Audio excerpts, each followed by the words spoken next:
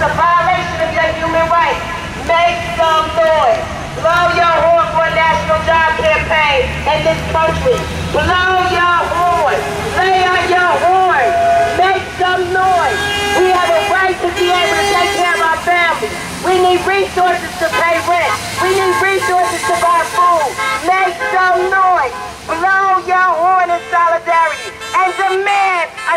job campaign in this country be implemented. Demand it. We don't come out here because we get paid. We come out here because our rights are being violated. We have the right to be profitable just like corporations.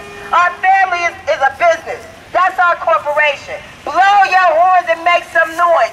Call Congress. Call your senators. Call your city officials. Let them know we want work, not welfare. We want work, not a failed government program. We want to work. 26 million people in this country unemployed.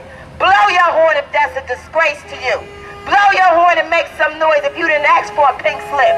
Blow your horn if you didn't ask to be laid off. You didn't walk out on the corporations, they walked out on you. It's time to stand up and fight for your rights. Your human rights are being violated in this country. How dare we go to other countries and say we're freeing the um, people? We're going to save them. When are you going to come save your own people? Blow your horn, 26 million people are out of work in this country. We are demanding a national job campaign be implemented throughout this country to put 26 million people back to work. This is a fight for our human rights. Blow your horns and make some noise. Every time you come through here, you should be laying on your horn. You should be upset. This is our 91st day out here of a 381-day protest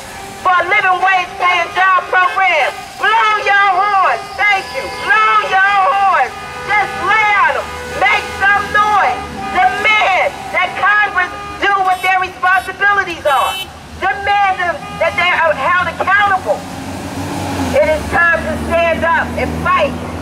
We need a